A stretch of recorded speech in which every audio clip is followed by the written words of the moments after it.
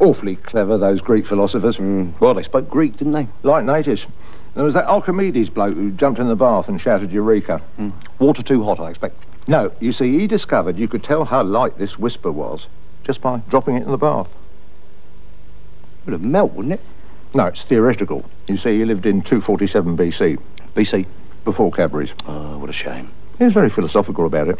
Hmm. Wispa. Enlightenment from Cadbury.